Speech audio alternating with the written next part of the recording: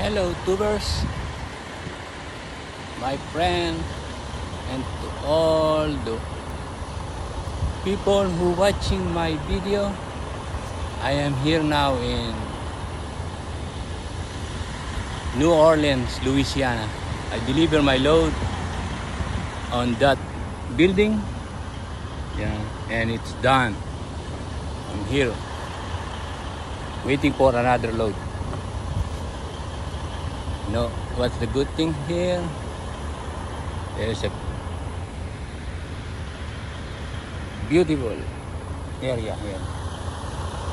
Playground. And I want to tell you something.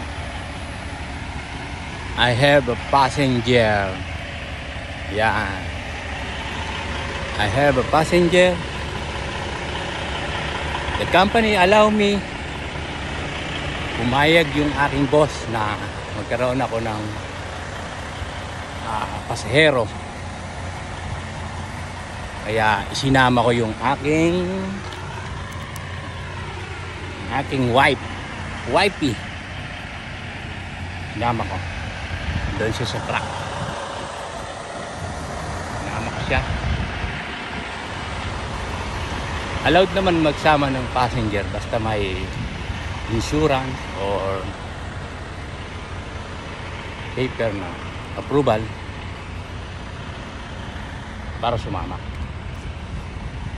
Kaya habang naghihintay kami ng load nakaparking ako dito. Yan. Ganda ng lugar, no?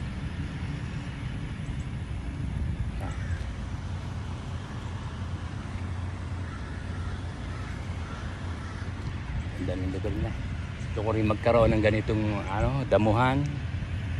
Meron akong project sa amin.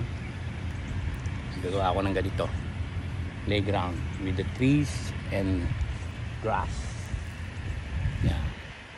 Habang naghihintay ng load, ito, tambay muna kami dito. Yes.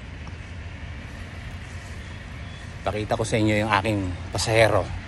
Kasama ko siya since June 1 hanggang June 30. Kaya meron ako tagaluto. Taga-prepare ng pagkain. Naka, nakakapamasyal siya ng libre. O, di ba? Ngayon ko siya. Say hi.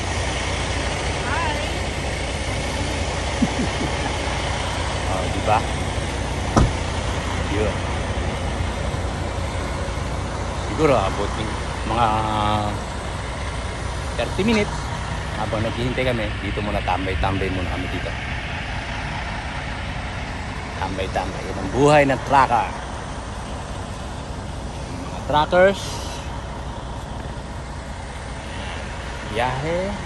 Wait, waiting. Waiting game okay naman yung biyahe ko. Ngayon ang ganda. The whole week. Yeah. kayo ay gusto mag-drive ng truck o makarating dito.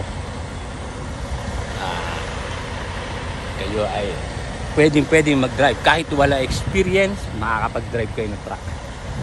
Kaya lang mag i-schooling muna kayo.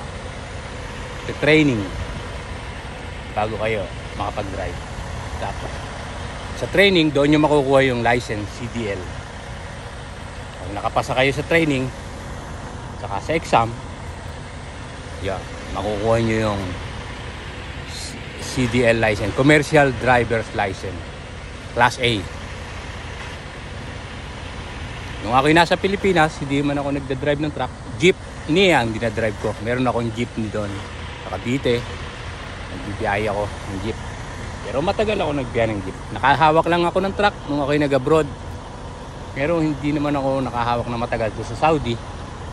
Dito lang ako sa US nakahawak talaga ng ganito truck, trailer.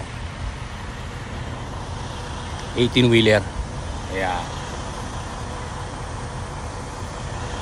kung meron kayo pagkakataon na makarating dito tapos gusto nyo mag-drive ng truck, pwedeng pwede kahit wala experience. Kayang-kaya nyo yan. Basta meron kayong lakas ng loob na mag-drive. Kayang-kaya nyo. Oh. Hanggang dito na. Salamat sa mga nanonood. Salamat.